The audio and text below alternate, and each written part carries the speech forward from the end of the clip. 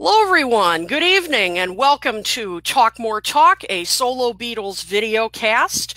Uh, we are so excited to be with you tonight. We have got a huge show planned. We have a lot to talk about. Um, we are celebrating two things. First of all, just by coincidence, we are broadcasting on uh, John Lennon's birthday, what would have been his 78th birthday. And to celebrate his life, we are going to talk about the John Lennon box set, the Imagine box set. There is a lot to go through. Uh, we are going to take you on a walk through that. Um, secondly, um, of course, since we last were on, uh, we had a tremendous loss in the Beatles community.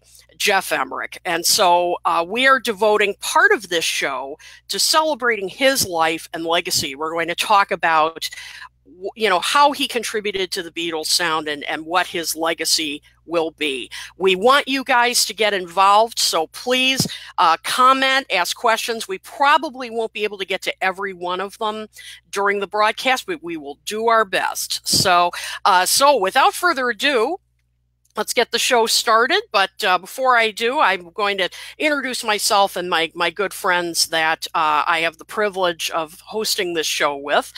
My name is Kit O'Toole. I am the author of Songs We Were Singing, Guided Tours Through the Beatles' Lesser Known Tracks, as well as Michael Jackson FAQ, All That's Left to Know About the King of Pop.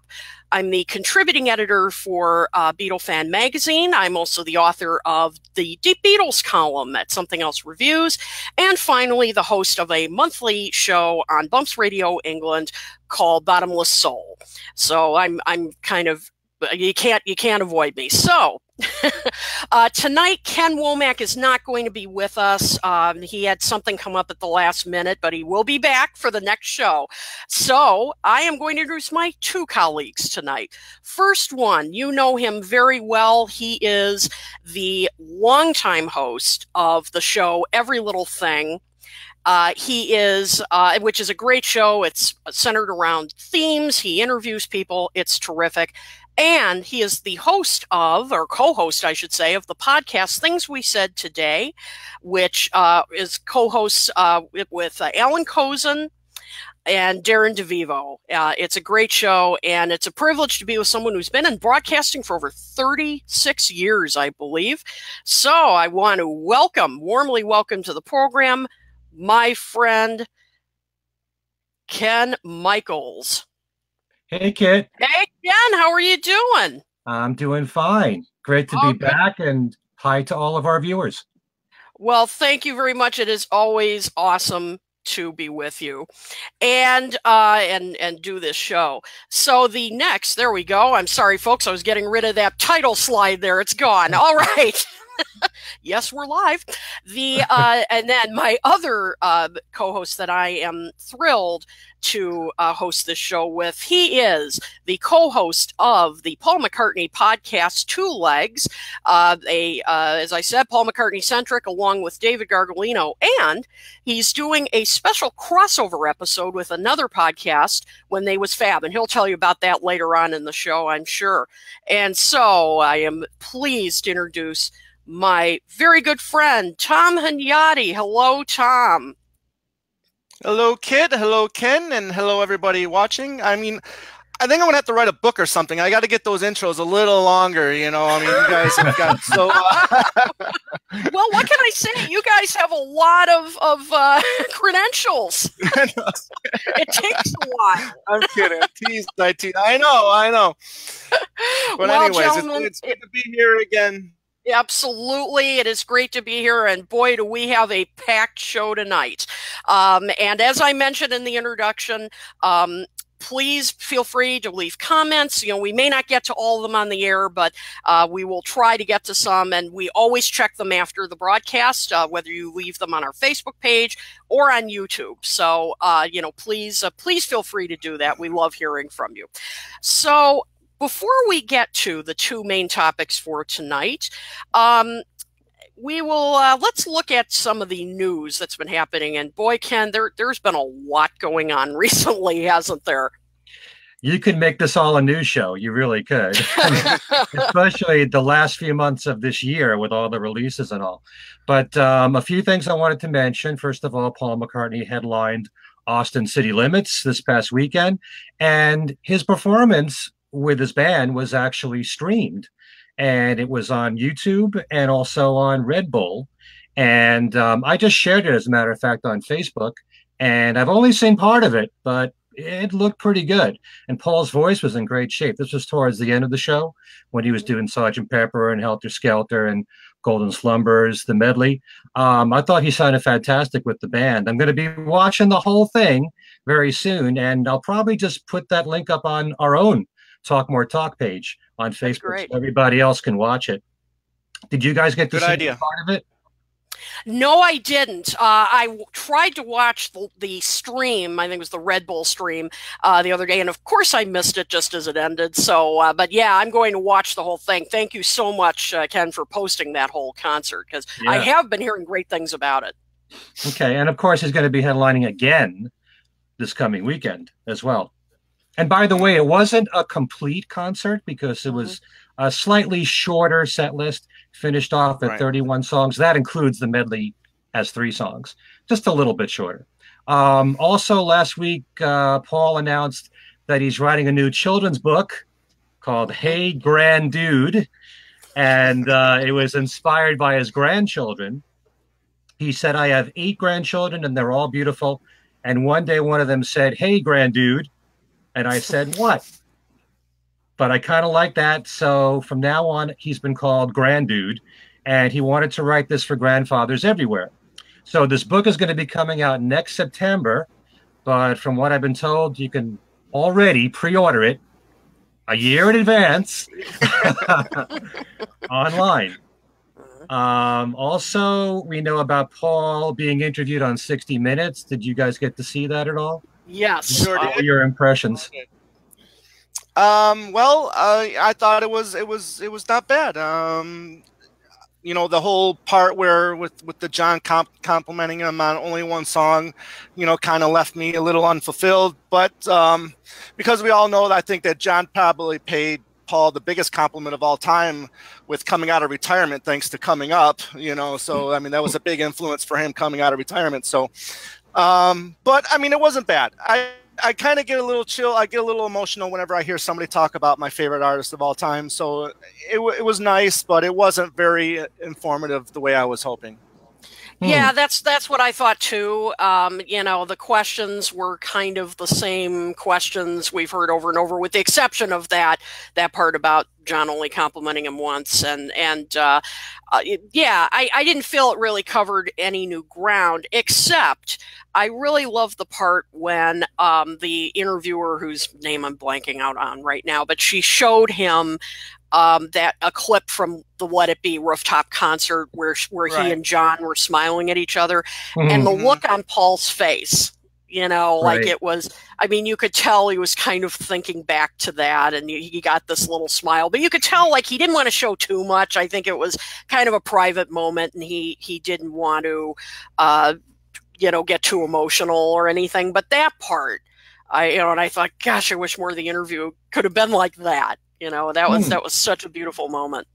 Actually, I was a little bit impressed by this interview because while it was geared towards a general audience, yeah. there were some things there that Paul said that weren't shocking, but he doesn't say all that often about um, him wanting to be liked still, that John was very insecure. Um, in fact, there was the one time when John said to him, and he said this before in other interviews, Do you think that I'll be remembered well? You know, and, and Paul said, you know, are, are, you kidding? Of course you're going to be remembered well.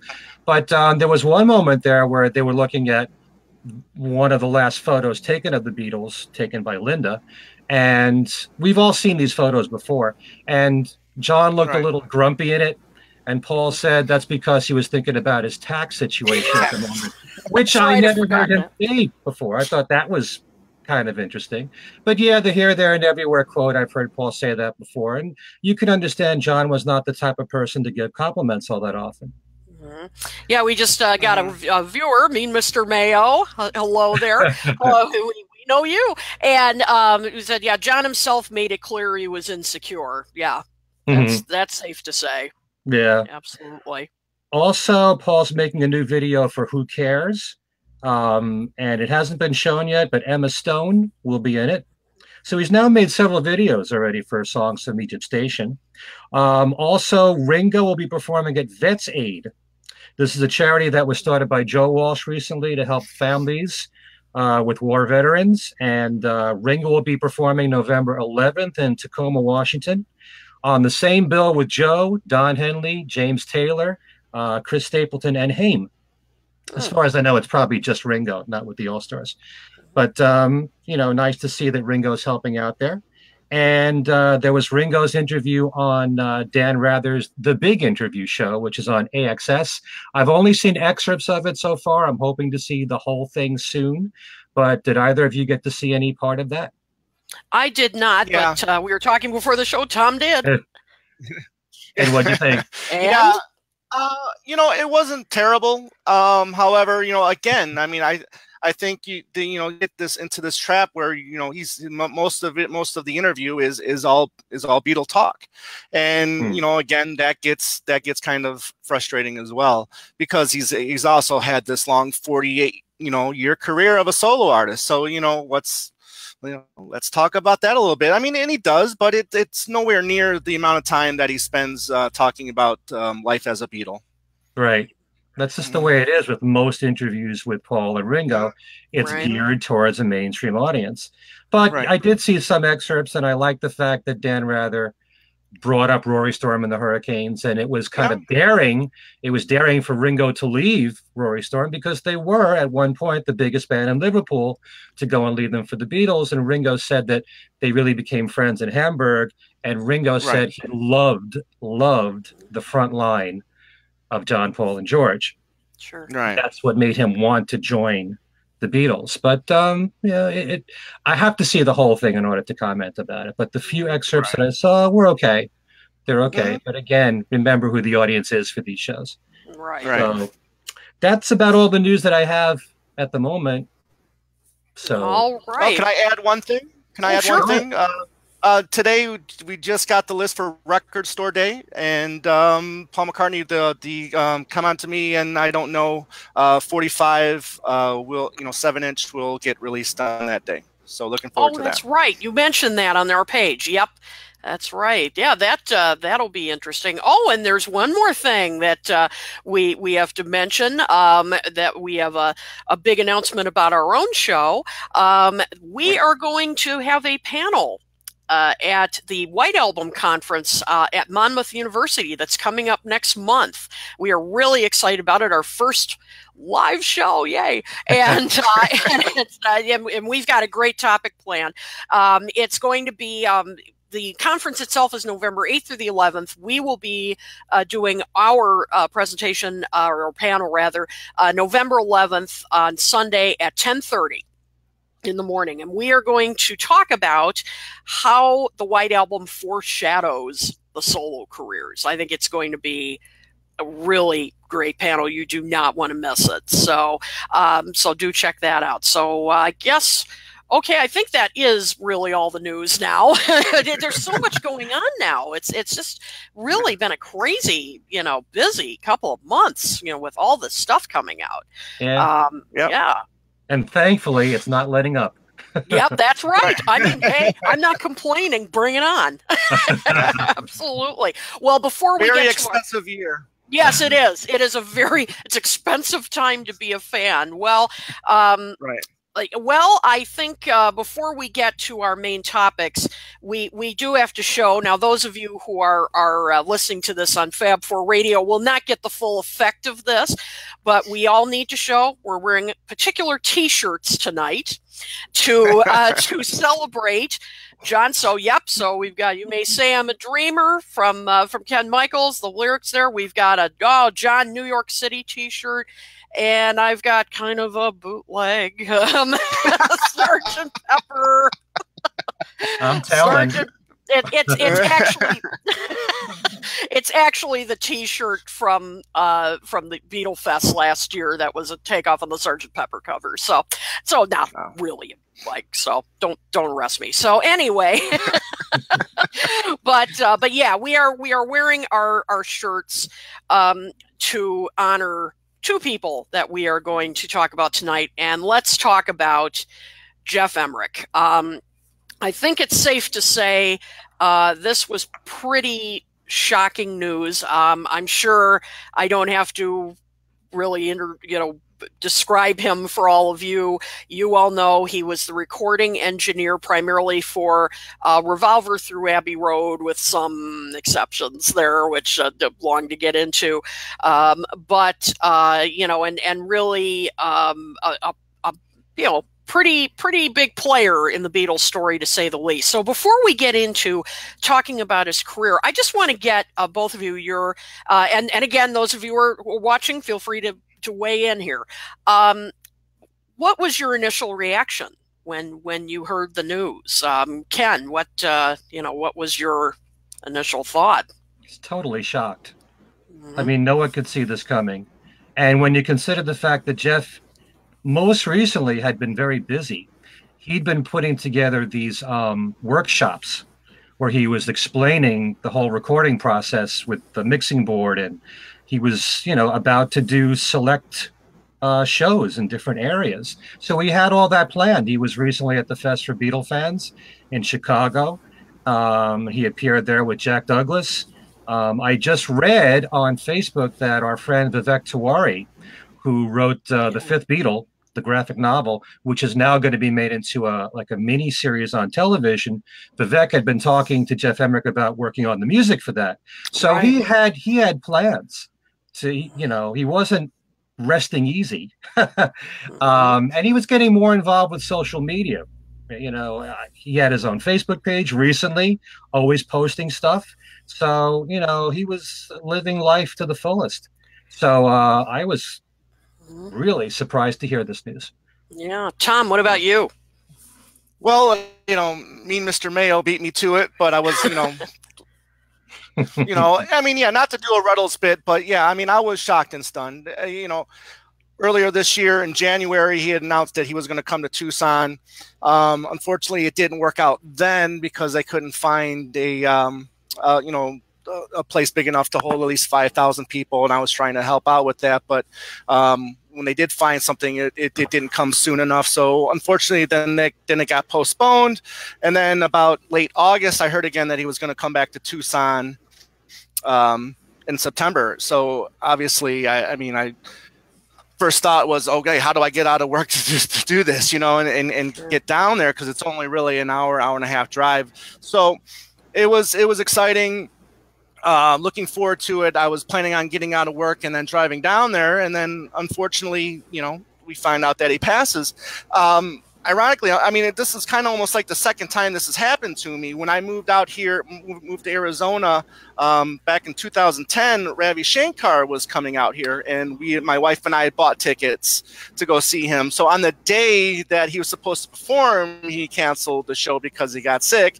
And what happened? Not too much longer. He not much, too much later. He he passed. So, oh wow, um, not having too much luck here on on uh, on this. But anyways, um, absolutely, the guy, you know, was his career was very impressive. We'll we'll talk about that in a, in a minute. But um, you know, it, it's definitely that circle is, is definitely getting smaller, and um, let's let's let's keep it that size for a few more years. Let's not make it any smaller anytime soon. You know, so it's Exactly, exactly, and and I uh, I did see him in August uh, at the uh, the Fest for Beatles fans, and, and had the privilege of meeting him uh, very briefly, but uh, but I did, and got to give him my book, which I'm boy am I glad I did that, um, and got to tell him you know uh, how how I admired him and and uh, he gave a talk uh, that was very interesting. Um, you know, he definitely had feelings about the you know the Sergeant Pepper box set from last year, the remasters. Mm-hmm. Uh, he made that clear. Uh, you yep. know, didn't didn't love all the the you know changing the remastering and so forth, the remixing, I should say that uh, right. that Giles did, and and all. I mean, he, that that was pretty clear. But I mean, you know, overall he seemed in in decent shape. Um, you know, for for someone his age, um, and uh, seemed to enjoy meeting everybody. And uh, and I'll tell you, it, it was a moment. I'm sure you guys found this too, where, you know, today with the way things unfold on social media it's like you're watching the news unfold in real time i mean it mm-hmm. was all of a sudden at about nine o'clock that night you know all these you know, I, I started hearing the pinging of my Facebook Messenger and right. all like, what's going on? And and then I saw all these, you know, uh, statements from my, I think Ken, I think you may have posted one. I know Darren did, uh, Steve Marinucci. Um, mm. I mean, a bunch of people, and we're like, this is unconfirmed. Oh, uh, Fab Four Free for All, I think they did. They were like, this is unconfirmed. This is unconfirmed. And then, of course, the sad news uh, came across. It, it was really shocking. I mean, just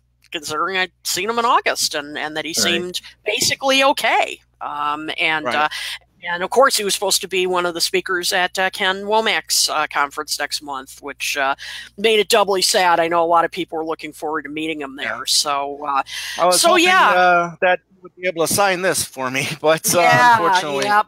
I yeah. know it's it's it's really it, it's it's really a, a, sad thing, and so um, that now that you, that was a nice nice segue you, you gave me tom because i was just going to ask and because because obviously uh, geoff talked about this quite a bit in in his autobiography here there and everywhere. If, if you guys watching or listening haven't read it you should.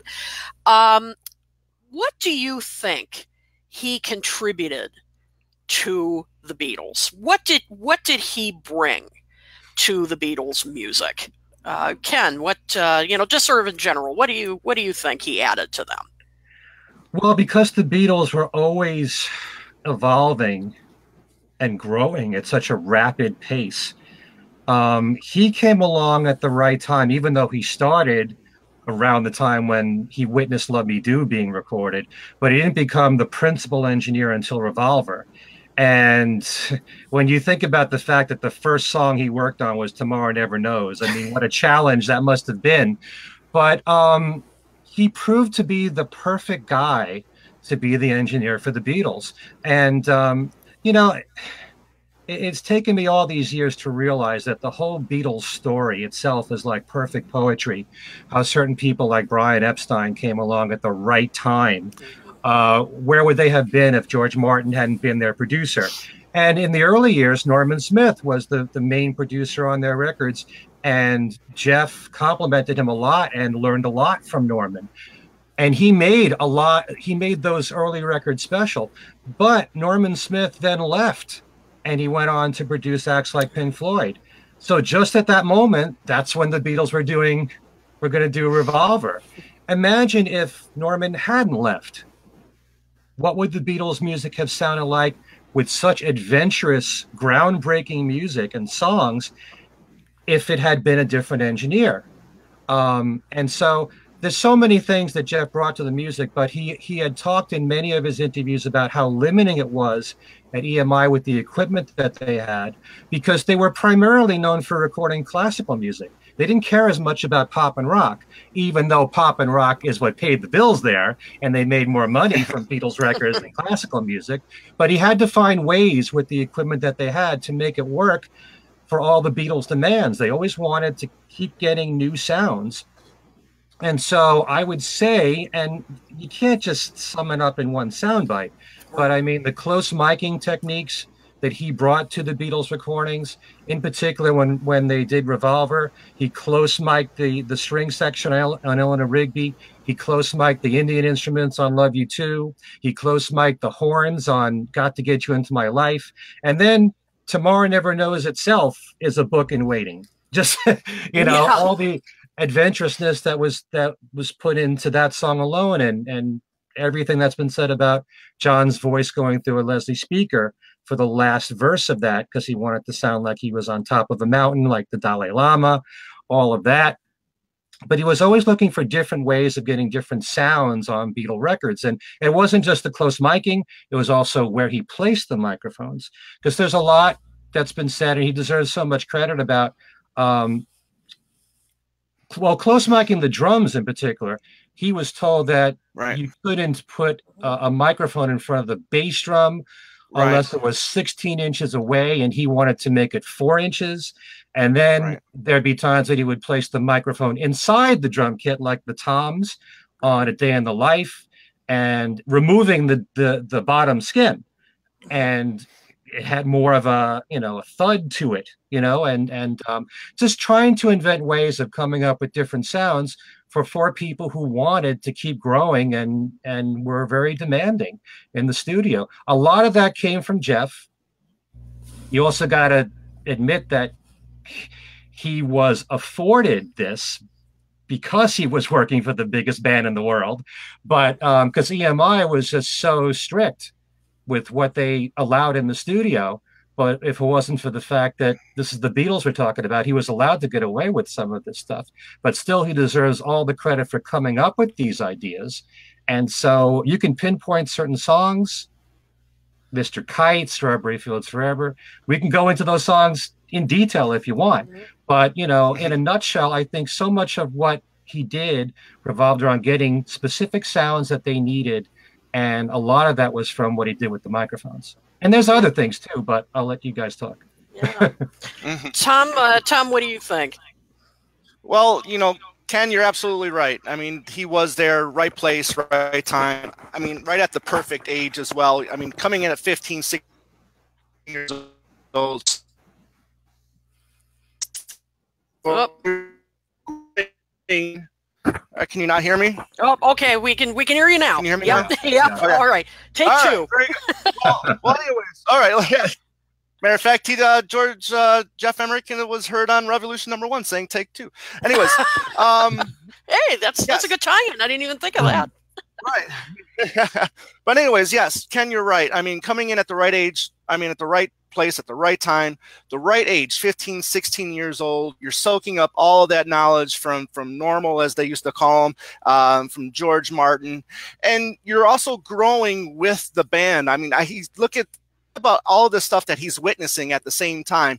They're they're out there busting their butts, taking risk, and that's that had to have been influ- influential on him to to want to you know to do this as a, as a young engineer in training and then plus the training that he had before he came he became the uh, the engineer where he's where he's he's cutting Motown records. So he's you know getting hearing these sounds that you know EMI wasn't allowed to do. So he's getting all of this other knowledge coming from other you know other uh, countries and whatnot and then he's going to be able to present that to to Beatles when it's his mm. time. Is look, I'm I'm ready for this. I mean, and even though he he says, you know, yes, no, yes, no, yes, no, I wasn't really ready, but in in a way he was because at the same time he was growing and he was progressing with them right around the same, you know, at, at the same time. So, I mean, it was like almost a, a match made in heaven, really.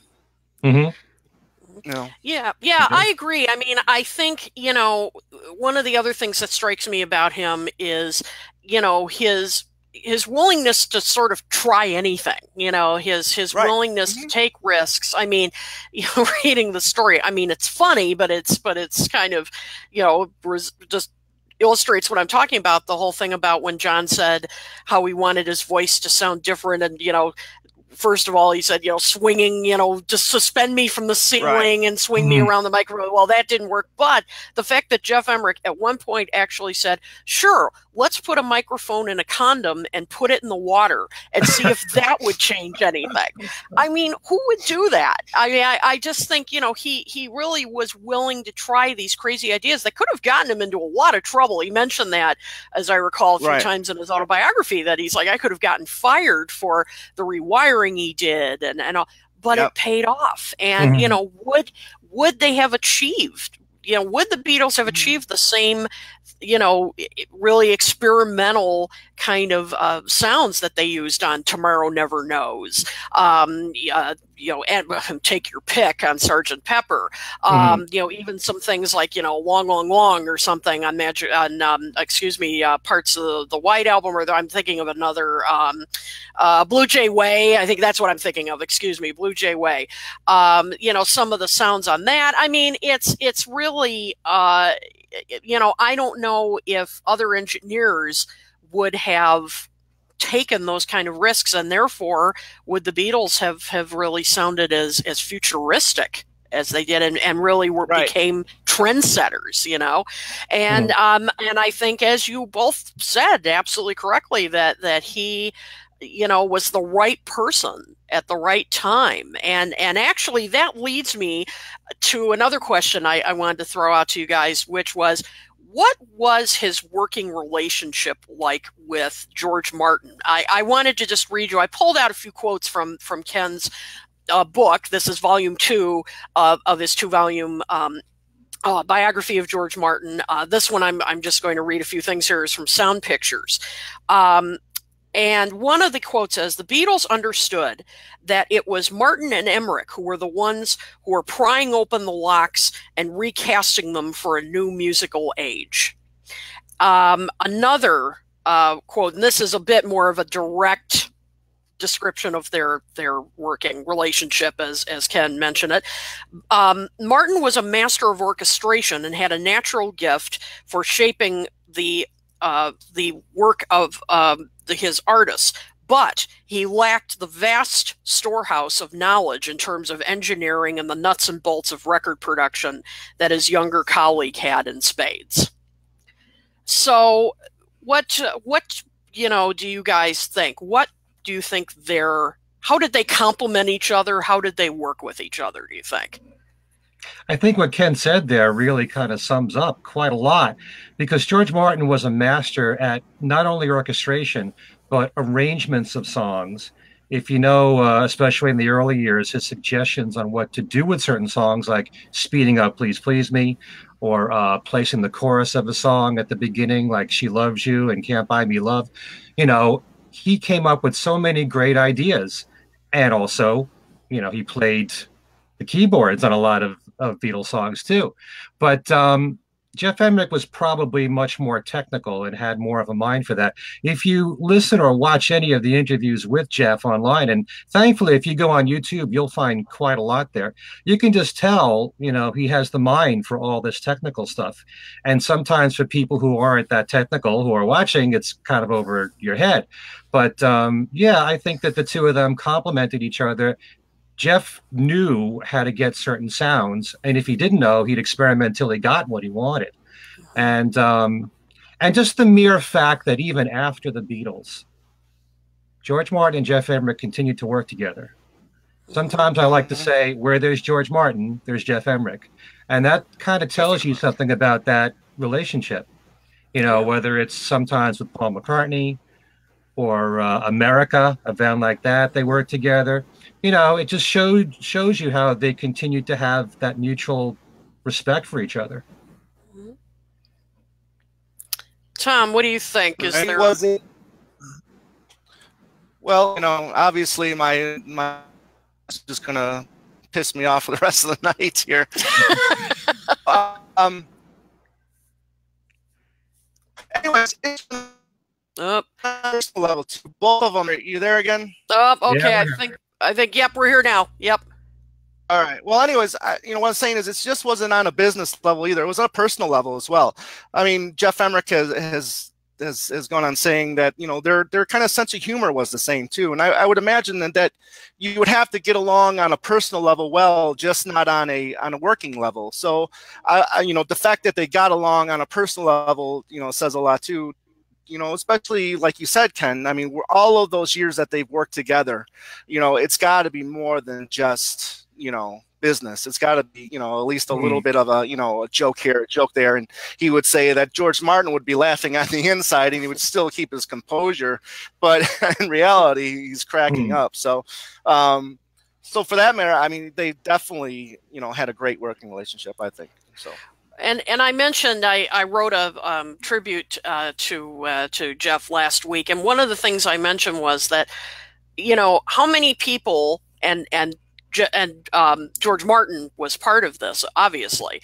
Um, you know, John would say, John Lennon would say something like, you know, I want to sound like the Dalai Lama chanting from the mountaintop. I want to right. smell the sawdust on the floor. Mm-hmm. You know, he would make those statements. And then George Martin, you know, would would think, "Oh, that you know, you you want this kind of sound. You know, you want a, a kind of carnivalesque kind of sound. You want this kind of thing." And then would talk to Geoff, and Geoff, you know, would be like, "I think I know how we can do that." You know, here here I think he could kind of execute it by wiring the equipment and everything. And so it was, you know, it was kind of a, I, I think the two of them had a real collaborative you know relationship. They i think they complemented each other very well. And as as ken mentioned in his book i think he you know they they compensated for each other. I mean you know i, I think um, geoff mentioned in both ken womack's book and also probably in here there and everywhere that you know, I don't know anything about arrangements and and you know that kind of thing, but I do hmm. know how to record them in in a way that will sound different you know and um mm-hmm. and yeah and uh and ken I, I you mentioned something i i did want to touch on too that that not only did geoff you know work with the beatles obviously but he worked mm. with paul and ringo as as solo artists. Um, in fact, won a Grammy for the work he did on Band on the Run, and so right. uh, so of course, since we're we're all about the solo Beatles, what what do you think? What did he bring to their albums? You know something? Um, I was hoping to see Geoff at this symposium coming up because I interviewed Geoff back in 2006 when his book came out, and it was all about the Beatles. I had very limited time to to talk to him. The one thing I always wanted to talk about the most is the solo music because you rarely ever hear Paul McCartney talk about um, Geoff Emerick specifically for what he brought to his solo music, or a Geoff Emerick for that for that matter.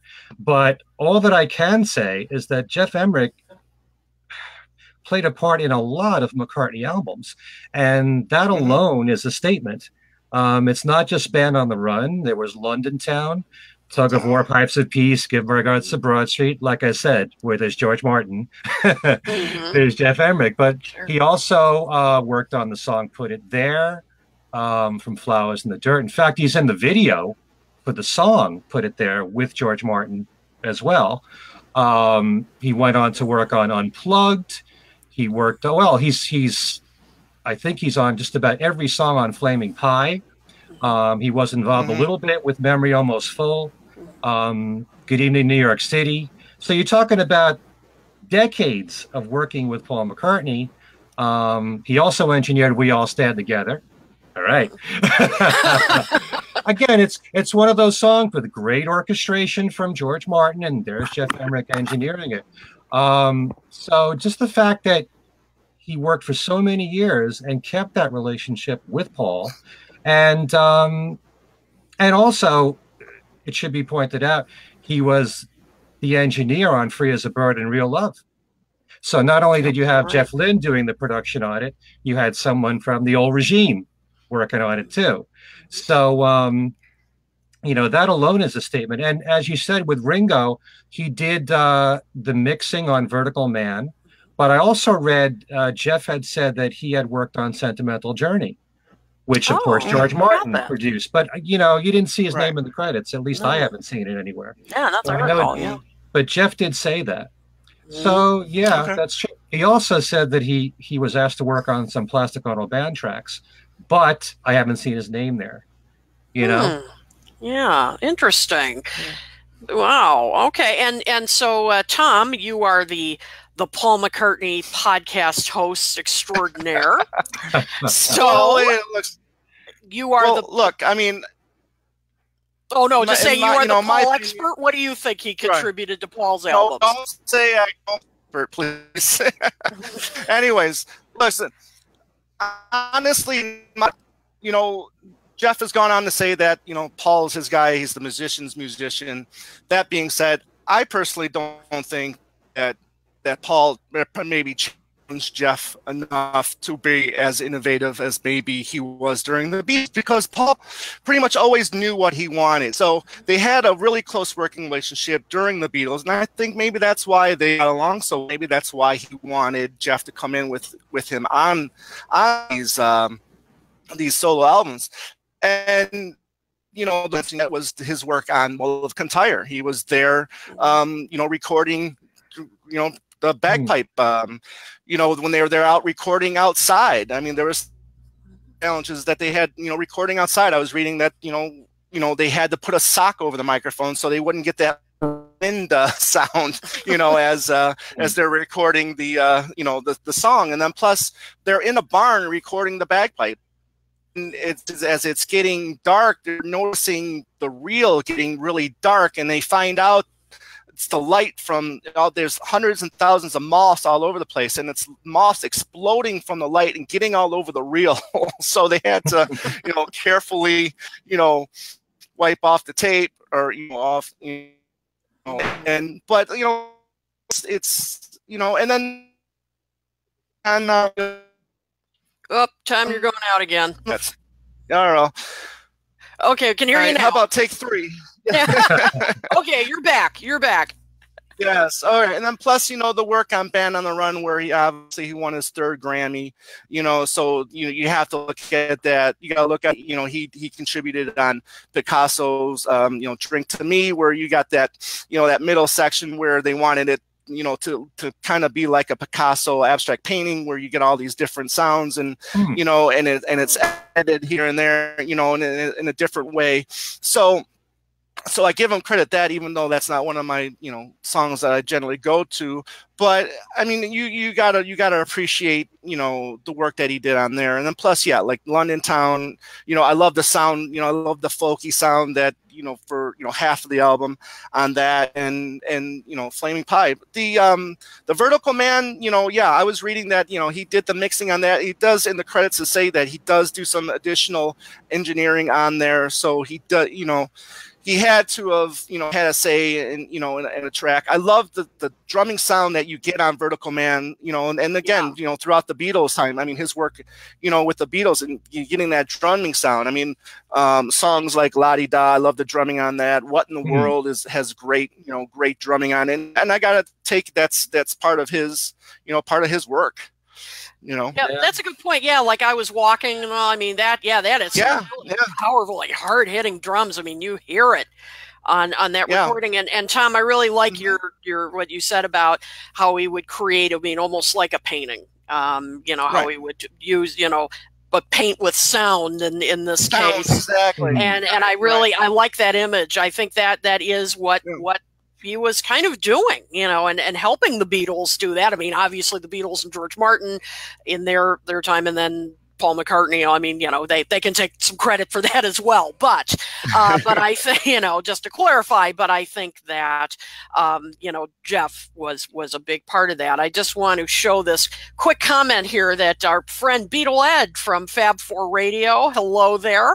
Um, he mentioned that another book to look at to really. Uh, you know, to, to really get into this um, stuff is uh, recording the Beatles, and that's very true. That's a that's mm. an excellent book. Uh, Jerry Hammack, I think that is, and and uh, yes. Uh, yes, and so I I agree. Thank you very much for pointing that out. So along right. with Geoff Emerick's book. Do check that one out if you want to read more details.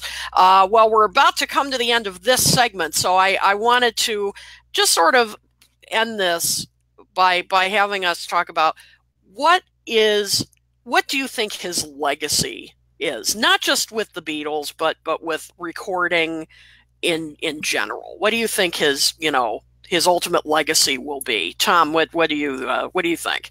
You know his his innovativeness. Um, you know his the philosophy like the Beatles had. It's about the song. What is going to help the song and I really appreciate that he takes the time to listen to the song. You know, put the headphones on, close your eyes, listen to it, and then see what you can add to the picture. And then plus listen to the artist. You know, if you know, obviously he's the kind of person that you can say, well, this can work.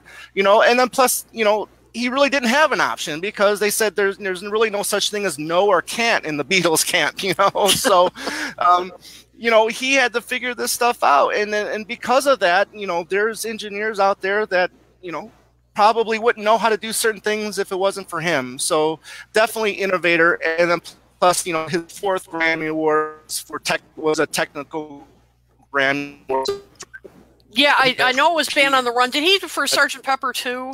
Yes. For that? I thought so. I Yeah. believe Abbey Road. Yeah. Yeah, and that's right, Abbey Road. Yeah. Yeah. Yeah. Sergeant Pepper, Abbey Road, Band on the Run, and then the the technical uh, Grammy. So yeah, he's a four time winner, and you know it, it's well deserved. He will not be, or he will be missed. His his music, his his legacy will live on for a long time. Ken, what do you? Uh, anything to?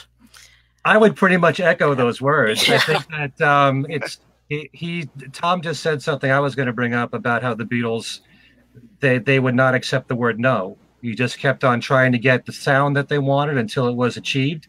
And Geoff was very fortunate to be working for them because they were the biggest band. But um, also, another thing to mention is that uh, right at that time of Revolver is when the Beatles stopped touring. So they had a lot more time to spend in the studio. They weren't going to go perform live, and so they can concentrate on you know mastering this craft even more than they had already of making these records. And just the mere fact that he would try anything, he would probably hear in his own head or figure out what would work. But if it didn't work, he'd try something else until they got the sound that they achieved. And um, you know, sometimes it's hard to understand if you don't have a technical mind. It's more easier to think, what would this music sound like had anybody else engineered it? And then you'd hear the difference. He just happened to be the right guy at the right time, and he really delivered the goods. And, you know, so much is said. I, I'm always a song man first because I'll, I, I'll probably say this a million times on this show. But to me, the song is the most important thing. The production is secondary. But if the production can enhance a great song, it can only make it better. And Right. the Beatles engineers, all of them, really did that. And I'm kind of fortunate. I, I I'm I feel like, you know, certainly during the Beatles years, you never heard about the engineers at all. You heard about George Martin. No. And I think thankfully through someone like Mark Lewisohn, you saw these names that you might not have seen before.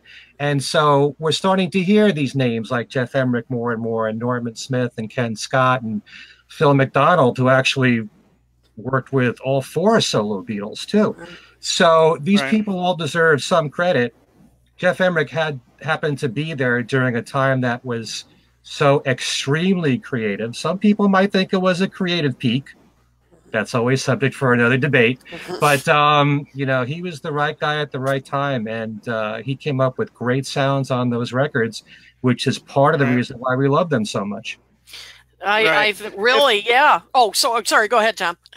No, and then just add, I mean, I don't think it was until Abbey Road until that's exactly I think when he got his first credit on a on a Beatles record. On the back it says special thanks to to Geoff Emerick. So you know you didn't see those names like you said, Ken. I mean, it's it wasn't. I mean, it was the producer, and that was pretty much it. Hmm.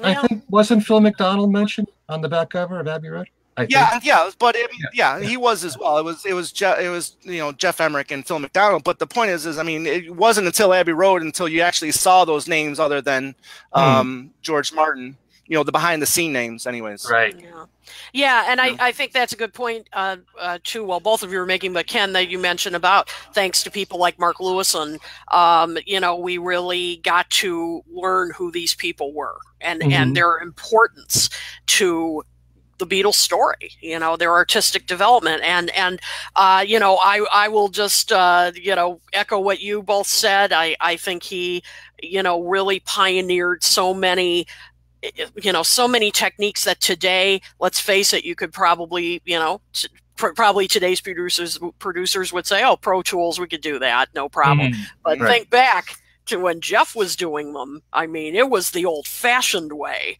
right, um, right. and you know, of cutting up tape and and you know, I mean, it was uh, it was the the hard way to do it. Uh, but again, he was fearless and and was right. willing to try new things, and and I think that's too will be be his legacy is is to um, constantly you know expand what sound can be and and how it can create help create the mood of a song you know? I mean i think he really you know expanded that for for future engineers artists and and everybody. So he he will truly be missed.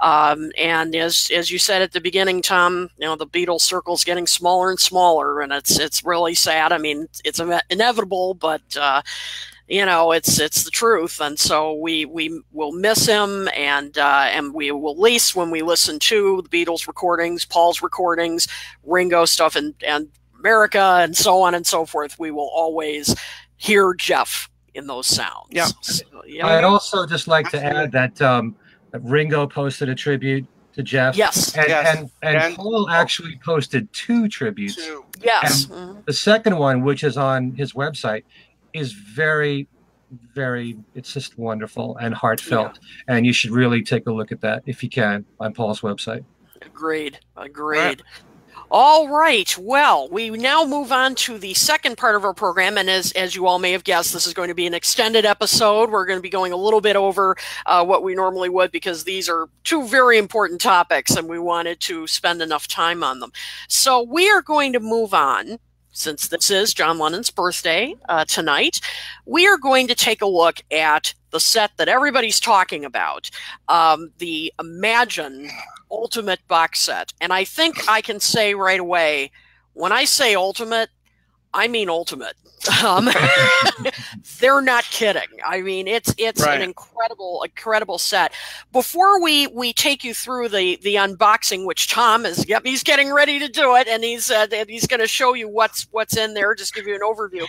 I just wanted to to just before we get into that, talk a little bit about the album itself.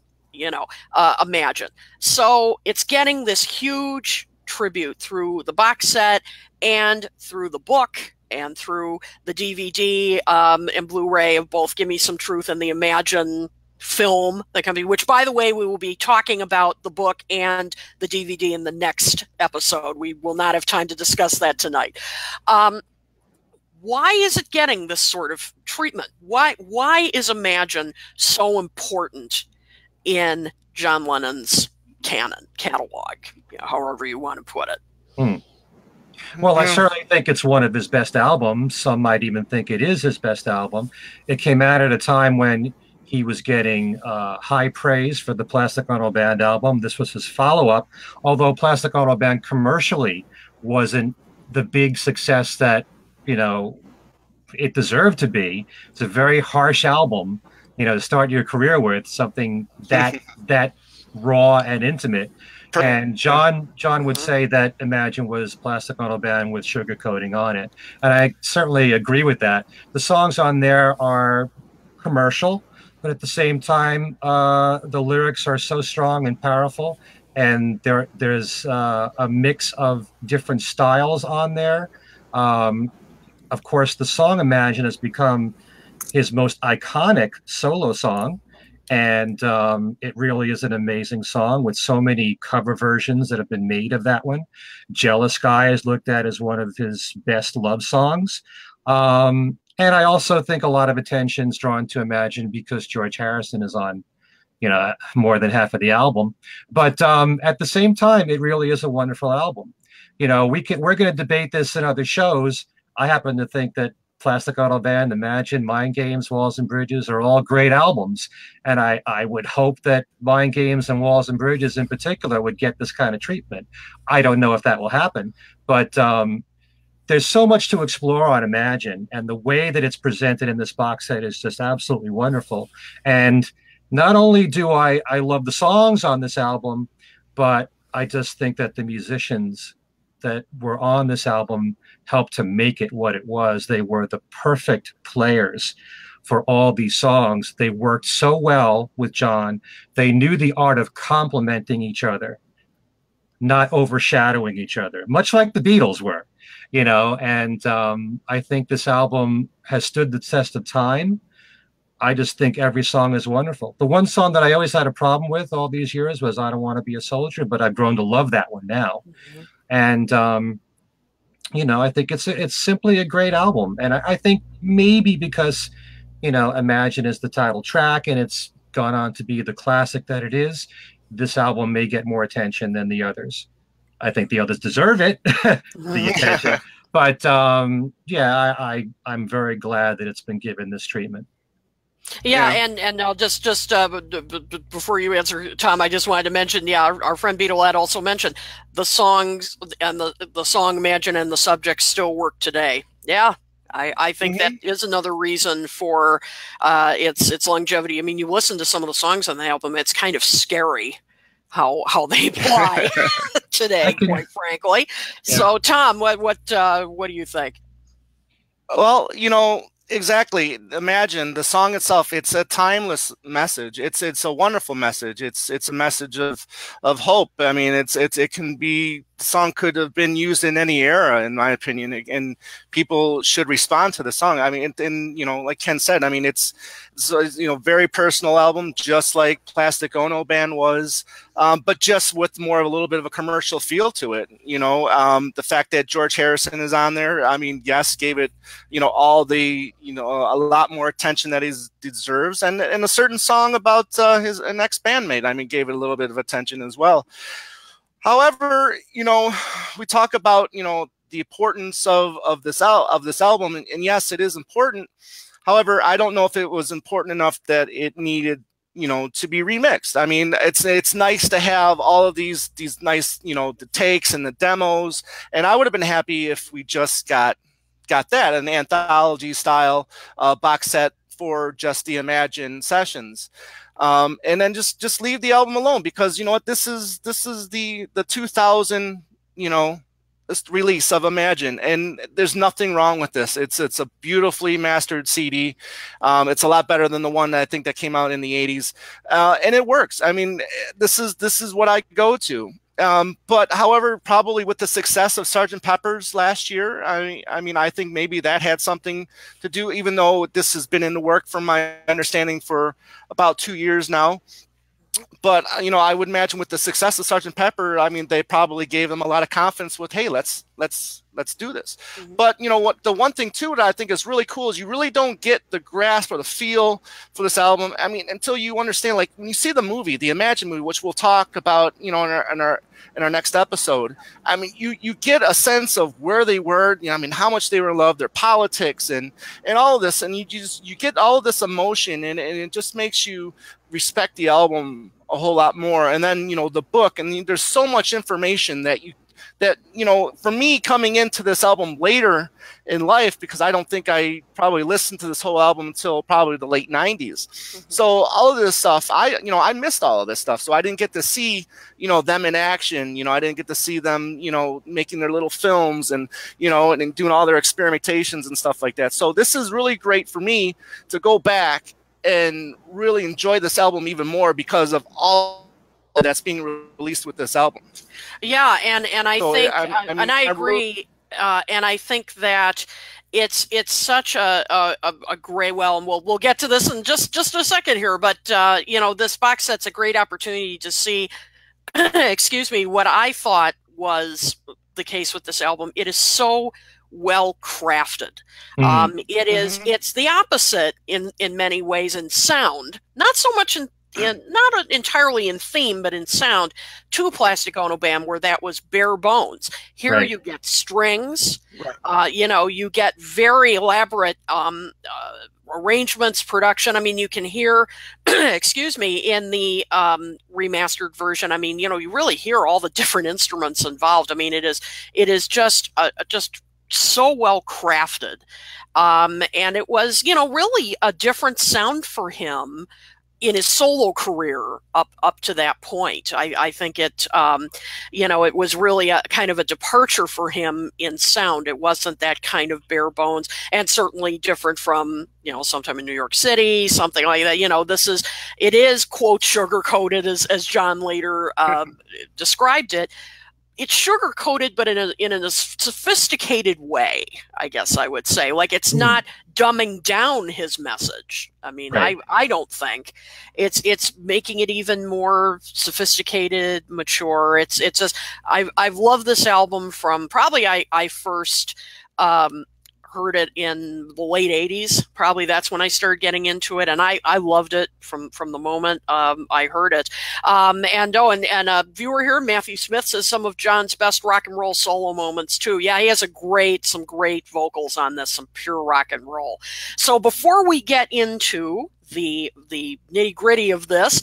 Um, Tom is going to show you uh, and describe for you what exactly is in this I mean, ultimate deluxe set. it really is. So, Tom, why don't you take us through this? All right. Well, hopefully we won't have connection problems while I do this. But um, you know, here it is. This is this is your box. Um, it's size of the Sergeant Pepper set from last year. Mm-hmm. So go next to it, but it's half the size. So it go, does go nicely against the the um, Paul McCartney archive sets, but it, it you know it, it's not bad. It's got the beautiful cover. It's a strong. It's not lightweight. Yeah. Doesn't feel flim. Um, that said, you know you come bring out first um, first item. Um, Oop, got some connection uh, connection issues there. Oh, the, the, the page images are. Yeah, um, uh, yeah, I got some. Uh, yeah, I can't hear you, Tom. Oh, okay. I think you're back. Uh, all right. Okay, you're back. Anyways, okay. So, anyways, the the book is, is really well made. It's a hardcover. The pages are really nice.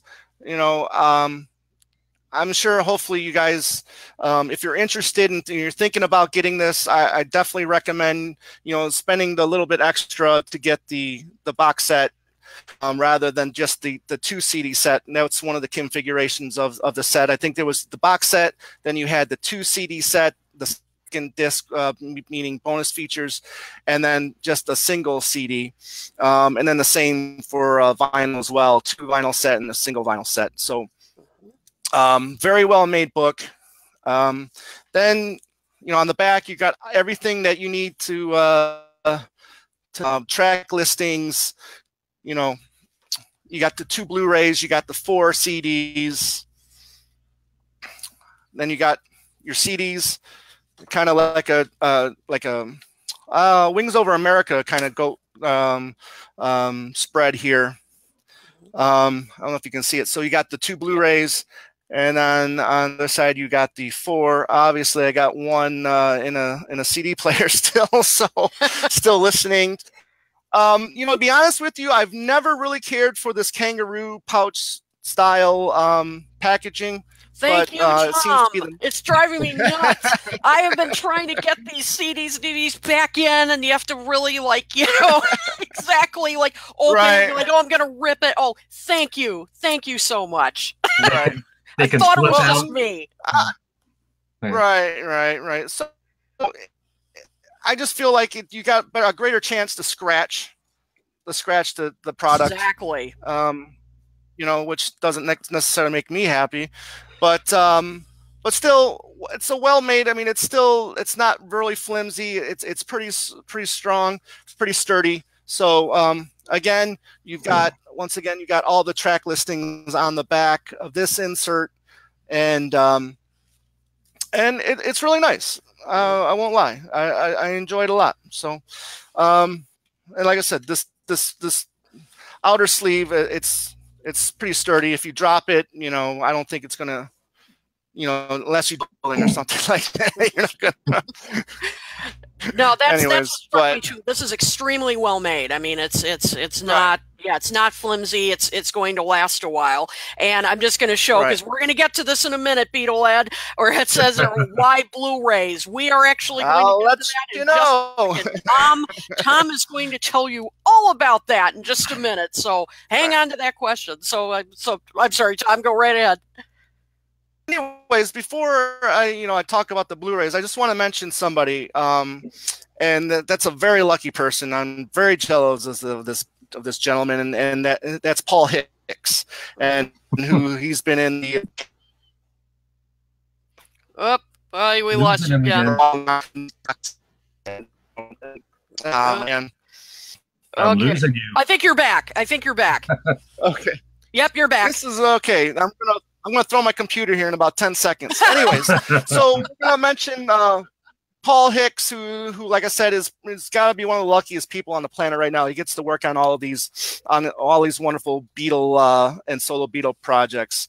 Um, but first, I want to mention if if you know if you get in, um, his, uh, Yoko was very keen that these ultimate mixes should be archived. Um, three three things. Um, to be faithful and respectful to the originals, be general, generally sonical, sonically clear overall, and should increase the clarity of John's vocals. And all about John. Read that. The, one of the first um, realize about this set. Oh, and you're and you're back. All right. Oh, you got a lot of technology. yeah. Anyways, what I was saying is, is if you don't read that, one of the things you should notice right right off the bat about this set is the vocals. Um, for mm-hmm. me, right off the bat, you know, the vocals were really outstanding. You know, there's there's some, you know, on the on the bonus tracks, you don't get some of that reverb, so you get that raw. Vo- he get his actual singing yeah. voice, and that's yeah. impressive. One of the things that I really really loved about this set. So, anyways, where were we? Blu-rays. Now, why Blu-rays? Well, because you can get more information on a Blu-ray. You get more layers on a Blu-ray. Blu-rays tend to have a thinner um, laser, which is more like a violet blue. They call it's more violet, but they call it blue because violet ray doesn't sound as good as Blu-ray, you know. But, but anyways, so less compression, um, and you fit more more material on a Blu-ray. So that's why Blu-ray, and then that's why you can fit all the information plus more than you can on four CDs. So that's why that's why Blu-ray. Ah. Now let me let me ask a question because on the there's two yeah. discs of Blu-rays and it's everything that's on the first four discs, correct? We're correct. correct. And then there's yeah, also there's supposed to be an interview with Elliot Mintz in there? Correct. You got yeah. You got a you got a half hour of Elliot Mintz uh, uh, interviewing John and Yoko, so you mm-hmm. get some of that. But and that's about a half hour long. Honestly, um, the first Blu-ray I think is right around uh, um, two hours, and that's going to cover you know pretty much the first two CDs. The second Blu-ray has about four hours on it, which is is really really impressive, and you probably could even got more on it if they chose to. So, but once again, I don't know if you guys see it. Hopefully, you know the people that are watching, so you can, you know, you know what's already here. But a few things I don't know. Ken, Kit, you've you've heard the remix. I, I would hope. Uh, the, the the the the album itself, just the album right yes yeah. yeah oh yeah. yeah. the remasters right. yes um you know what um i what i found interesting and um oh before i get to that we have a question here do you have to play those on the blu-ray player only i believe you do right a blue a blu-ray player has to be played on a blu-ray player however you, you can play dvd blu-ray yes right. so hopefully okay. that that's what yeah. I thought. Okay. Mm-hmm. All right. Yeah. So so sorry about that. I just wanted to get to that question. Um yeah, yeah right. I you know, I I think what's interesting is the the remastering of the album to me wasn't as dramatic as say the Sergeant Pepper remaster was last year, where that there were elements of that that when you heard them, I mean, they just hit you. You know, I just thought, mm-hmm. wow. I mean, there were a couple of just wow moments. You know, I'd never noticed this particular sound this remastering wasn't quite as as impactful to me in in that sense. I mean, it it didn't really reveal too many things, but and and I'm sure I'm going to get get flamed in the comments for saying this. I'm not a big Phil Spector fan. I'm I'm going to just flat out say I'm I'm not a huge fan. Um, and and one of my criticisms of, of him has been that you know you know, he created the wall of sound and, and all the echo and to make it big. And I get that, you know, to get that big, big sound. But to me, it sacrificed some of the sound of, you know, the individual instruments. And it made kind of, for it's to me, kind of a muddy sound at times. This remaster does correct that for me. Mm-hmm. Um, like, for instance, on How Do You Sleep? that hissing rattlesnake sound I I mean that mm-hmm. really came through to me so much more than on the original recording. Um, the strings, you right. know, on on Imagine and some of the other tracks were so much clearer. And there were a few moments where I did think, wow, you know, I'd, I'd never really listened. Klaus Voormann's bass, boy, yeah. does it get a great treatment here.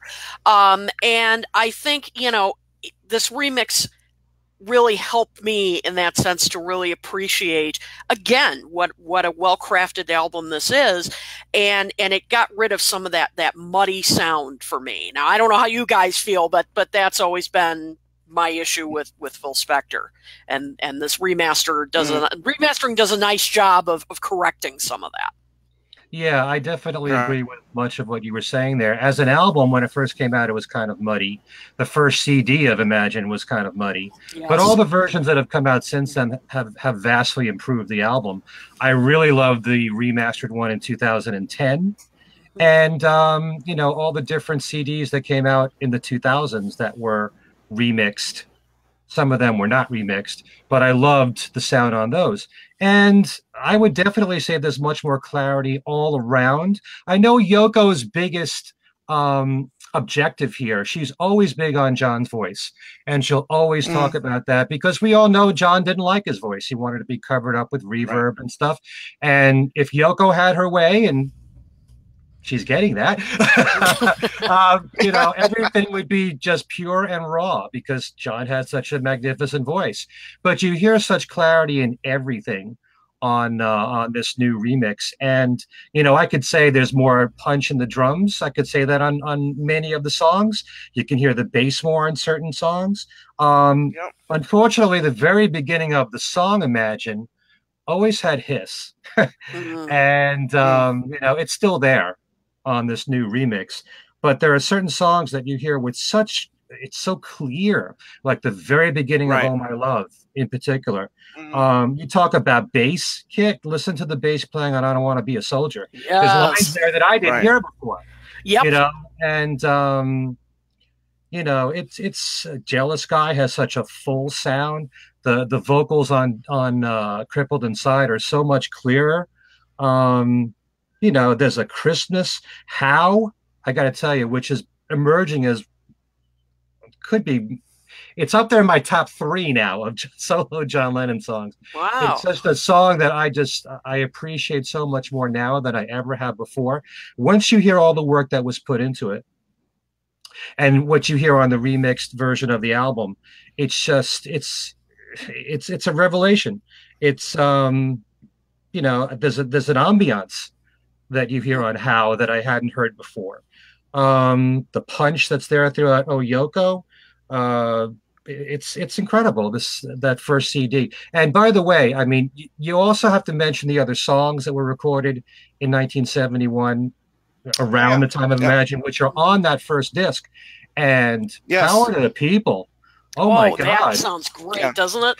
For, those of you that haven't heard it, at the very beginning of the song, where you hear just the vocals of the chorus, it sounds like there's so many more people singing. It's almost like it's surround sound you're when right. you're listening to that. It's it's incredible. It's the best sound I've ever heard of "Power to the People," um, and I also appreciate the fact that "God Save Us." They released both commercial versions, right, um, of mm-hmm. the Bill Elliot vocal with the Elastic Oz band and the one that John sang lead to, as well as John's demo, which is included here too. Um, right. And Happy Christmas sounds great. Mm-hmm. Happy Christmas yes. is, sounds yeah. fantastic too. So um, I think a great job was done overall with the remix. Someone I saw complain that um, the strings sound awful on, on the remix. I didn't feel that way at all. Mm-hmm. Right. In fact, that's one thing about this album that I've grown to appreciate through this box set. It's just how how great the the orchestration is on many of the songs. Yeah. Mm, So yeah, yeah. I agree with I agree with uh, you know a lot of what you said. You know, uh, these that have been coming out these last couple years have been really wonderful for for bass and drums in my opinion and on a musician standpoint there's there, there's there's mvps you know throughout the you know solo car- career of the beatles and one of the per, one of the people that are all the way up to the top and it's it's klaus voormann like you guys both said Mhm.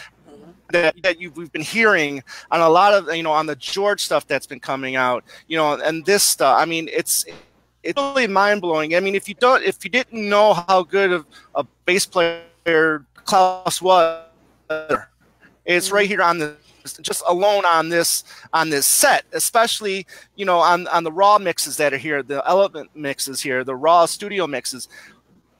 A lot of this, you you know, you mentioned I don't want to be a soldier, Mama. Um, Ken you got to listen to the, the to the demos and the and the takes on here because of all of the songs you know i was hoping more of a you know um evolution of, of songs here but the only one that really take took on, a, on any kind of transformation was i don't want to be a soldier um, just the you Yeah. know the tempo the tempo of the song and and i got drumming i think it was keltner that was on drums for this for this particular song and uh i mean it it, it reminded me of um uh, Y from Plastic to go Band. It, it's just really in your face, you know, you know, bass drumming and and really, you know, loud, you know, um, bass by uh, Klaus. So um, really, really wanting to talk about the stripped down stuff. um, you know, there's a there's a version here where all of them, you know. Are, are stripped down, just kind of like the double fantasy was stripped down, and that uh, is really imp- get the orchestration on Imagine. You Mhm. don't get the really cool Curtis sax on on Crippled Inside, and um, but what you get is is John's vocals again, and it's all kind of John's vocals, which is really, in my opinion, the star uh, of you hear, you know. Uh, the rawness of his voice, which you never really got to hear before, maybe you know, you know the roughness of you know twist and shout, you know, but you really didn't get you know his the softness of like how or oh my love, and he's just really just you know, you know, just it's just really powerful, and um, I wish I could describe it better. Um, no, the, the but subtleties, it's the really- subtleties in his voice, yeah, Exactly. subtleties in his voice Mhm. are captured more when it's raw. Right. Yeah, that's that's true. exactly. Yep. Let's uh, Right, talk a then- little. Oh, I'm sorry. Go ahead. No, and the other really cool thing too is there's some. It's called from the Masters multi-track, and then this is like, and it's just the cripple inside. All you're hearing is the upright bass and the drums, and and Mhm. it's all throughout the whole. It's the whole album, and it's really cool how you're just getting you know bits and pieces of the song. And, uh, I thought that was really impressive as well. You're- Absolutely. Oh. Yeah, Oh, you're ahead, Kit. zeroing you're zeroing in on individual musicians and what they contribute. Right. So that was really a You're nice touch what they did there. You know, and and I Right. think too. I I think generally what what we're all getting at here is. I thought this is the the whole box set really is is a fascinating sort of a, a, a chronicle of not only how Imagine was made, but Mhm. kind of how an album is crafted. That's what Mhm. fascinated me as I was listening through, like even the the the disc. There's a disc called uh, I think it's called the Evolution Mixes, where it was Right. you heard and, and they basically just pieced together different takes because they were all you know some of them broke down. They were all pretty small, and and you you felt like you were a fly on the wall, and you could hear the evolution of you know I don't want to be a soldier and and uh, how do you sleep? Um, you Right. know and and hearing the chatter with uh, John and George I love at one point George instructs Yes. John to do the I think it was uh, he said do what you did on uh, I've got a feeling. I think that's what I think that's Right. what it was. And then you just thought wow. I mean it, it, it just was it was like a fly on the wall. But I think you know as I said you just you hear the progression. This was such a painstakingly written and and recorded process. I mean, you really understand after listening to the set why Right. Imagine is is so great. And I just want to spend a, just a couple of minutes here talking about you know some of the outtakes uh, that that were uh, you know that, and that's that's my thing I have to admit. And there were two there were two moments on here that I kid you not. I was driving. I was listening to this in my car, and I swear to God, I almost like pulled off the road to, to listen to these right? because I was just so blown away. Mm. Which was "It's So Hard," which mm-hmm. was take 6 mm why wasn't this on the album? I mean, the growling right. vocals, um, and the you know, it was it was such a like a harder, bluesier version, no strings, and I love the strings. Don't get me wrong, right? But and on right. other cuts, but this, I thought, wow, maybe they could have left the the strings off. Guitar solo right yeah. from like the blues. Oh my gosh. I, I just I I truly I think I even said, you know, wow, like out loud and I was by myself. Um and uh, and the other one was Jealous Guy. Um, take 9. It was just his voice unadorned. No right. no studio enhancements and he sounded like he was, you know, right up to the mic and you yeah. just heard a, a, couple of people are saying here here's one saying always been my favorite singer. This take was a perfect example of that. You heard the pain in his voice uh, you know you heard the the you know shame of being a jealous guy. I mean it, it just it, it struck me so deeply hearing that version without the echo and and the effects just him. And uh, those were two right. of my favorite moments. So how, how about you guys um, well, first of all, I just wanted to bounce off what you said about it so hard because when I heard that particular take kit, my immediate thought was this could have fit on Plastic on Ono Band. Yeah, you're right. Was. You're it right. really had that vibe to it. But that's one of the special things about listening to this box set. Even if you hear the release take of one of the songs on Imagine with something missing, whether it's strings or whether it's a guitar solo. There's a take of Give Me Some Truth without George's guitar solo, and you hear the other guitar parts, the arpeggios that are played, and it has a whole different feel to it.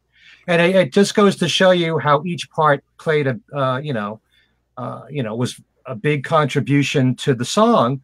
But even when you remove it, it has a different vibe, which is, is good to itself. Um, you mentioned it so hard. Um, I love the the beginning of disc two. They have just elements of the songs, which is where you'll hear a lot of the orchestration. Right. And as I just said about how, which I love that song to death, you just hear the strings. You just hear the orchestration on how. And I tell you something, yeah. it's so gorgeous. It could exist as a piece of music just like that without anything else. It's yeah. that good. Mm-hmm. And like I said, it makes you appreciate the work that was put into that.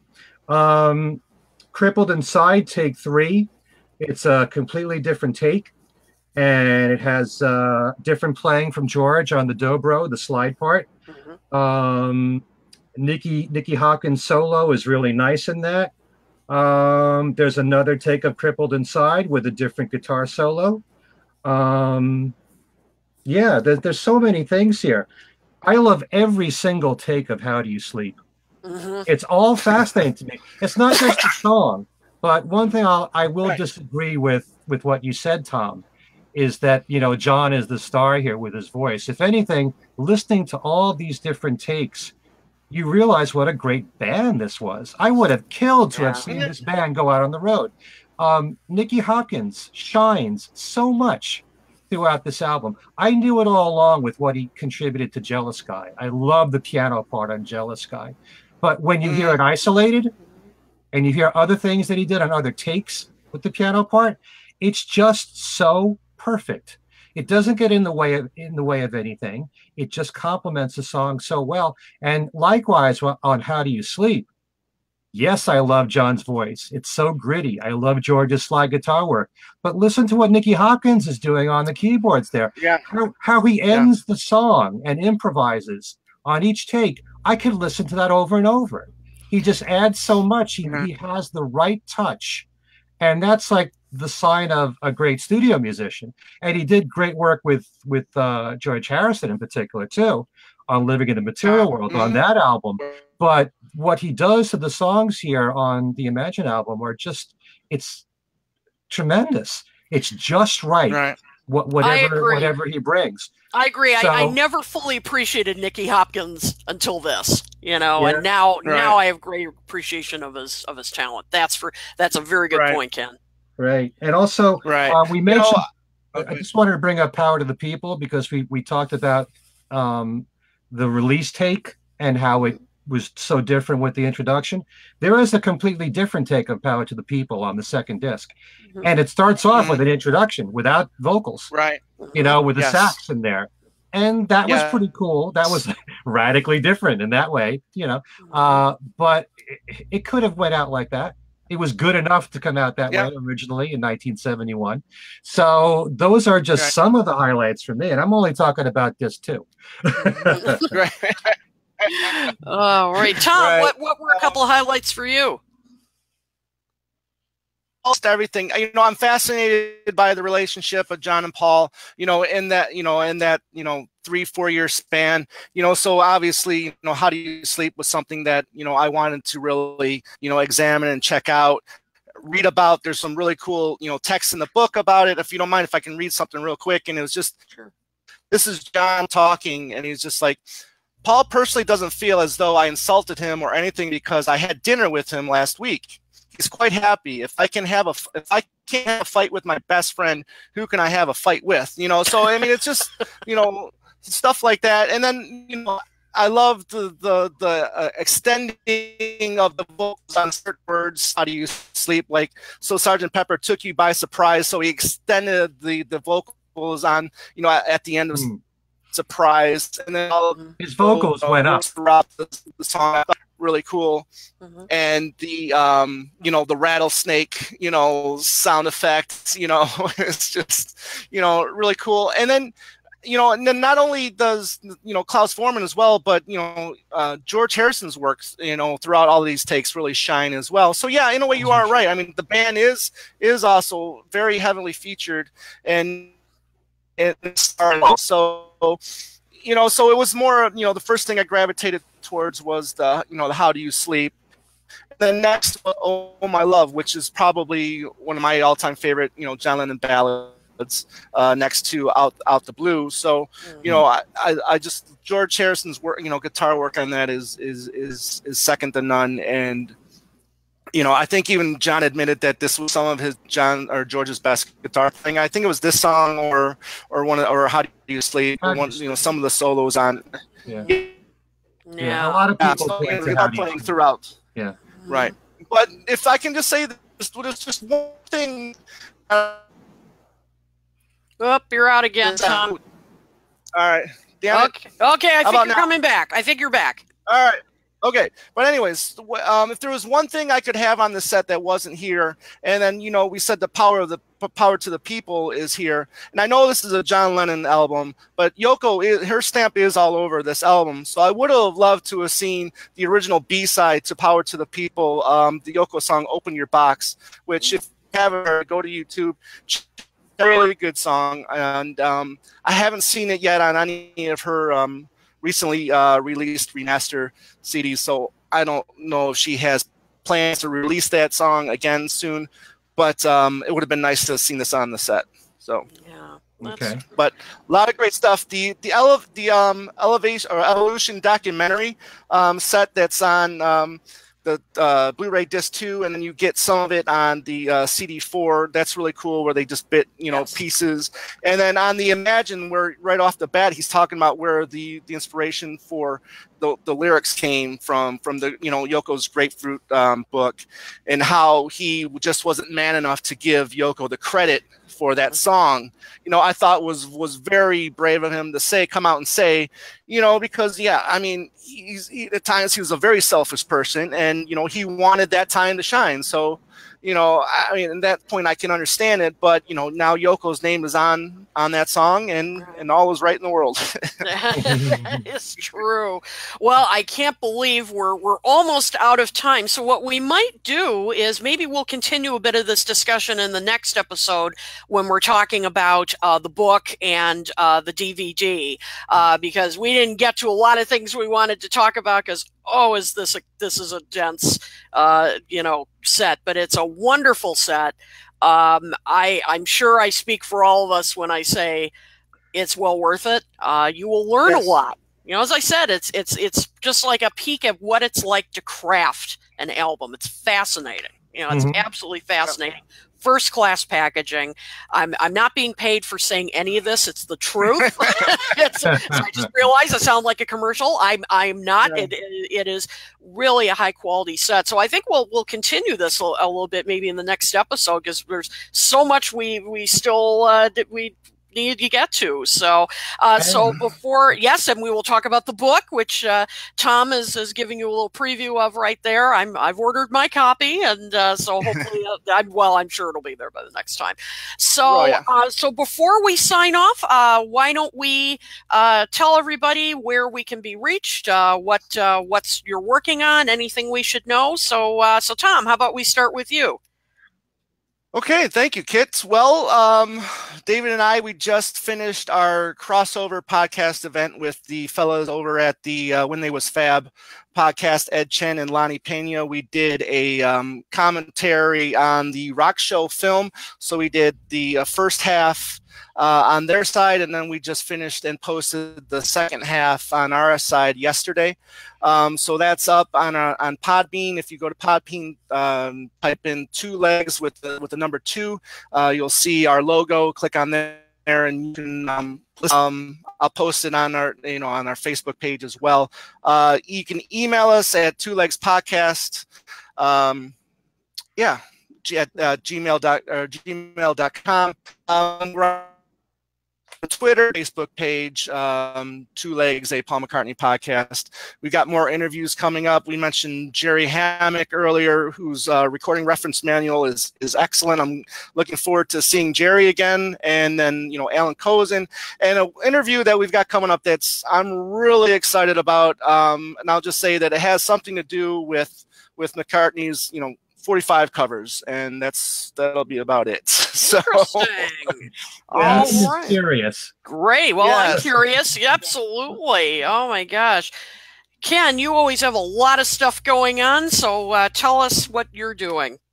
Uh, well, first of all, if you want to reach me by email, um, my address is everylittlething at att.net. Um, my other podcast show, Things We Said Today, we're recording a show tomorrow.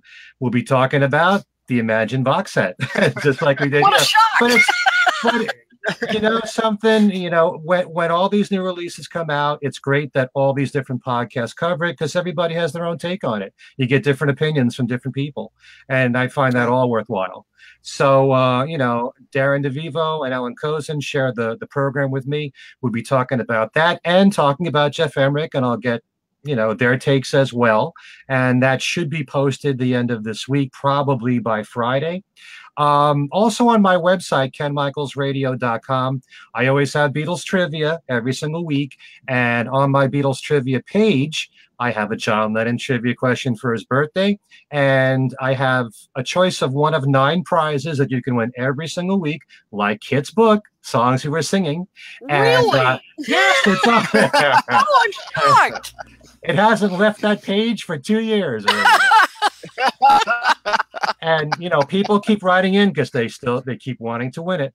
But um, just recently, I added Paul's album Egypt Station as a prize, and just added this week is the new two disc version of John Lennon's Imagine album. So it's the remixed album and then the second disc of what's in the box set. So you can win that. I also want to mention that uh, last week I had the pleasure of interviewing two guys who I think, Tom, you interviewed on Two Legs, and that's Alex Kane and Terry McCusker. Oh, yeah. Um, did you interview them, Tom? I think you had no, them on Two no, Legs. Oh, okay. No, well, anyway, yeah, a couple of years ago, they released a book called Ringo Starr and the Beatles Beat. Those two guys mm. are both drummers, and they're both from Liverpool, so we automatically mm. like them. And um, yes, you know, this is a this is a very intense study of Ringo's contributions as a drummer to the Beatles. They highlight certain sections of Beatles songs where Ringo does something unique to the song and where it enhances the Beatles songs. And it's really a you know a very thorough study in such a way that the average person can also understand it. There's notation there for for those certain passages in Beatles songs. So if you want to learn about that, and what made Ringo so different as a drummer. Um, I just did an interview with those two guys, and they're on my website. They're on my interviews page four page, and it's about an hour long. So if you want to uh, learn more about Ringo as a drummer, you can go there as well. And one more thing that I wanted to add um, for those of you who are curious about my show, Every Little Thing, which is really the bulk of my work in radio. I've been doing the show for it's it's 36 and a half years now, and wow. about 70% of the shows that I've done are that show. But the syndicated show, which is one hour long, if you ever wanted to hear it, um, there's one very easy way that you can. There's a website based out of Germany called globaltexanchronicles.com. And if you click on the Ken Michaels tab, there's a lot of my archive shows there. So you can get a feel for what that show is all about. It's Beatle music, solo music, as you said, Kit, interesting themes, interviews, it's basically if you're familiar with the book altogether now and the works of Wally Podrazik and Harry Castleman, anything the Beatles ever touched can ever be can can be in this show. Uh, that means songs they produced for other people, songs they wrote for other people, cover versions of Beatles songs, family members, Apple recording artists. It all gets thrown into one show, and that's why it's called Every Little Thing. So there's no telling what you're going to hear at every single show. And if you want to hear any of those archive shows, just go to that website, globaltexanchronicles.com. And I think that covers everything. All right, excellent. Can I, can I add something real quick? Oh, sure. I add yeah. something? Uh, I just I just want to say everybody out there if you're if you really if you want a bookshelf full of books listen to ken michael's interviews because he's got a lot of authors on there. And i gotta tell you that my my bookshelf is is full to the brim thanks to those interviews because oh, thank you. they're they're they're great. And it you know ken does a great job with the interviews and it makes me and it makes me want to go out and and get those books. And you know i think um, everybody that listens will have that same feeling so. I agree. well, thank you tom I, well, I appreciate that. Well appreciate said. That, yeah. Well said. All right. Well, I am, uh, let me think. Okay, I've got two articles up since we last uh, were on. Uh, one is a review of uh, Ringo Starr and the All Star Band concert from September, uh, their Chicago stop. The other, as I mentioned earlier, uh, my salute to Geoff Emerick. Those are both at somethingelsereviews.com. Uh, you can also find them on my website, which you are just looking at right now, kitotoole.com. I also also will have my next. I mentioned that I host a show called Bottomless Soul. My next episode will be up Monday, October 16th um, at, on Bumps Radio England, and that'll be at 11 p.m. Eastern Time. It's going to be part two of the show I did last time, which is underappreciated uh, women in R&B from the 60s and 70s. I've had a lot of fun doing this. It's this is one of my besides the Beatles, soul and R&B is my passion, and I've I've just been having a blast doing this show. So uh, so that will be on, uh, and then I'm going to be doing my own Facebook Live show. Uh, my usual monthly thing is well the as John once said the usual rubbish. It's uh, October 18th um, at 6:30 uh, p.m. Eastern. That'll be on my personal Facebook page. I'll just be giving you updates. And by then, I will have Deep Beatles and Deep Soul up. I'm sorry I've been delayed with those. It has been, and I think my my uh, my colleagues will agree with all the stuff that's been going on. It's been crazy. So I've uh, so I'm a little oh, behind in the Come on. Yeah. and so. Talking.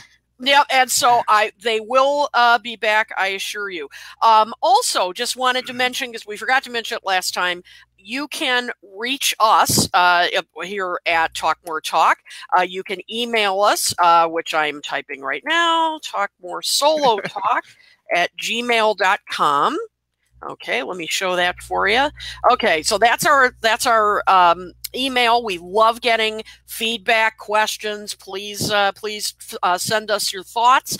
Uh, of course, join our official Facebook page, which is Talk More Talk Videocast. You can look us up on Facebook, and you're on it right now if you're watching it, so you know where it is. And like us to receive notifications of future episodes. And you can follow us on Twitter at Talk More Talk One, uh, where you'll also get the latest uh, updates on our future shows. So.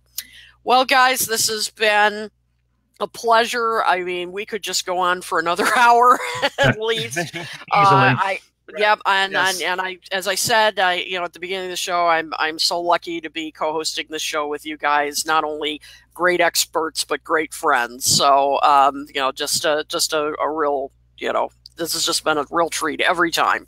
Um, uh, and let's, let's also remember that, that hopefully Ken Womack will be back with us on our next show, and he yes. can give us his take on everything in this box set as well. Exactly. So yeah, I think the next episode will have to be part two because we we uh, of this, and as we mentioned, the book and the DVD. We will talk about right. all of that next time. Thank you all for staying up late and watching us, and for this very uh, very special extended show. Um, and uh, we will see you next time. So from all of us, as Ringo would say, good night.